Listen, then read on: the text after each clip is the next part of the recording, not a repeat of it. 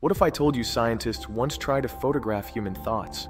Yep, back in the 1800s, one ambitious scientist believed your mind left a visible trace right on photographic plates. Meet Louis Darget, a French inventor who claimed thoughts emitted mental rays, like invisible lightning from your brain. His method? Press a plate against your head, focus on an image, and wait for the universe to cooperate.